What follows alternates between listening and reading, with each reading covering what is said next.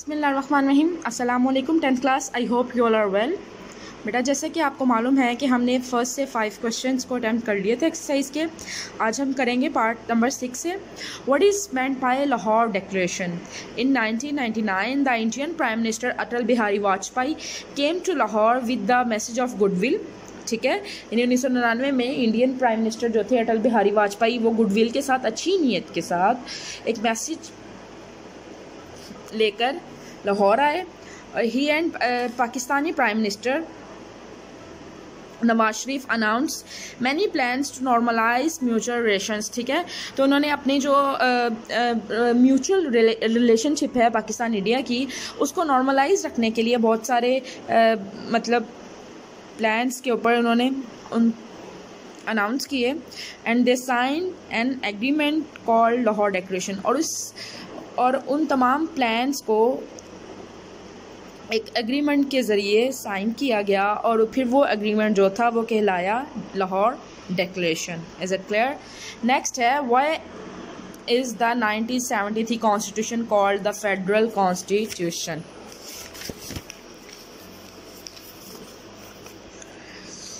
in 1973 constitution is called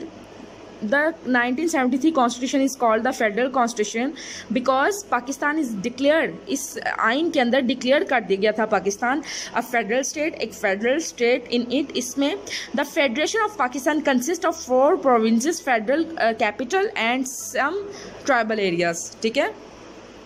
यानी कि उसमें एक फेडरेशन होगी और उसके साथ साथ कुछ ट्राइबल एरियाज़ होंगे। उसके बाद है part number eight what was the limit of the agriculture land which prime minister Zulfikar Ali Bhutto fix for the individual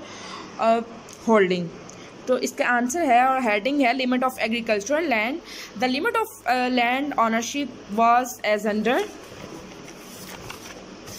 देखिए, जो इरीगेटेड लैंड थी ना, वो 150 एकर्स थी और जो नॉन इरीगेटेड लैंड थी, वो 300 एकर्स थी। और extra land was distributed among farmers and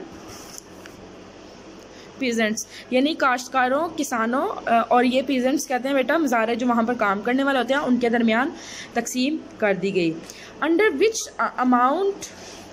amounts for Habib bank and U B L privatise answer है प्राइवेटाइजेशन ऑफ़ बैंक्स तो privatisation of Habib bank and U B L was done in two thousand four in Musharraf government Habib Bank was sold only for 22 billion and UBN was was sold only 13 billion rupees. Is it clear? उसके बाद है in which election was graduation made conditional for the candidate तो candidate and candidation graduation and sorry graduation made conditional made graduation made conditional for the first time in Pakistan graduation was made conditional for the candidates in the election of two thousand two is it clear girls and boys I hope कि आपको इनकी समझ आ गई होगी। Take care अल्लाह हाफिज़